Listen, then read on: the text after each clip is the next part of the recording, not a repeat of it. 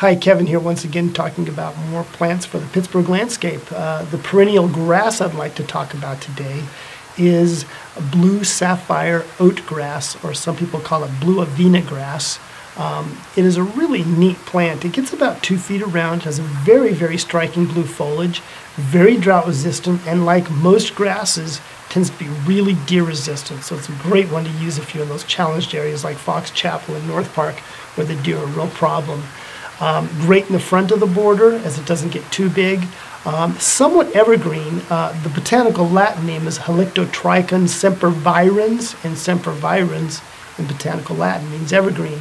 Most winters you'll see it carry through through the spring with some decent amount of good-looking foliage. In a severe winter, you might want to clean it up and get uh, you know a bit in the spring, uh, just to give it a tidier look.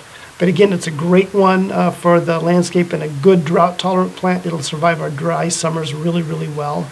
So take a look at uh, blue avena or blue sapphire oat grass.